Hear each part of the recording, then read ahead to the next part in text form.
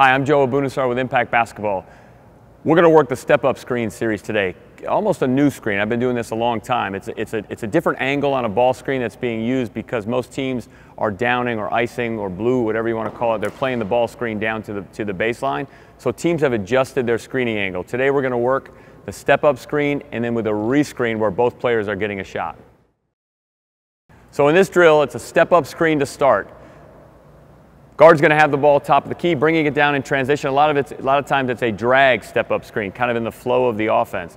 The forward, the big, whoever's setting the screen is going to come up and set a screen at an angle where the player is now. It's a step-up screen. Player is going to have coming away from the rim toward the corner, right, or toward the sideline. In, in, in kind of in contrast to the traditional side ball screen where the player is coming to the rim. On this situation, we're going to build it into real offense. So the player Ball handler's gonna come off the step up screen.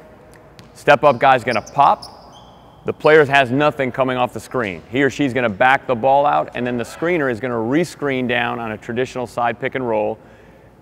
Ball handler's gonna come off that screen hard, attack, get a commitment. The ball handler now is gonna hit the pop. The screener on the rescreen is gonna pop as wide as he or she can to the corner, create spacing.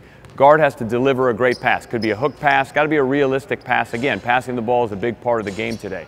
As soon as that guard passes the ball to the big, the guard is going to flash to the top of the key and the dish is going to feed a second ball for a three up top. So in this drill, the guard is getting action of coming off a step up, bouncing it out, coming off a side pick and roll, having to make a tough pass on a pop to a three-point shooter, which needs to be right in the hands. And then the third piece is catching from the dish up top and shooting a three. Screener setting two screens, setting a step-up screen, rescreening. We want to create spacing. So we don't want to just have a screen and then rescreen right away. We want to simulate live game movement.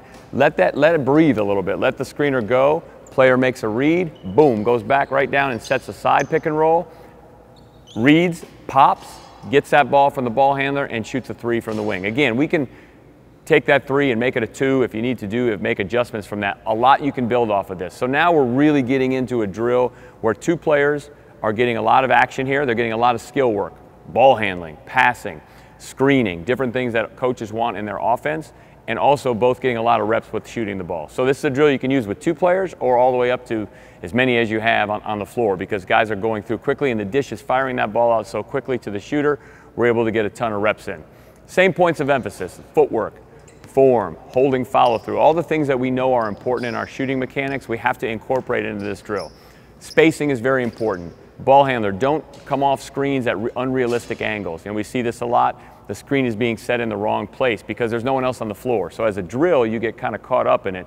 Here we want to make sure that everything is perfect, the detail. Coaches and trainers, if you need to put a piece of tape on the floor or a marking on the floor to make sure that screen is being set in the right place, go ahead and do that. Whatever you need to do to make the drill game-like, and players, as with anything, we got to make shots. So we're coming off three from the corner, three from the top. Let's make as many shots as we can. Thanks for working with us today on our Step Up Screen series. Really a, a newer screen, and, not in the NBA so much, but maybe moving down into, I think a lot of younger coaches are incorporating this screen a lot more. It's an opportunity for the ball handler to get a ton of work in off screening, the screener to get better at his angles, passing is incorporated, and then again, the end, end game is making shots. So we want both guys really focusing on their form and footwork, making shots at the end, but another really good drill that you can incorporate that simulates real live game action.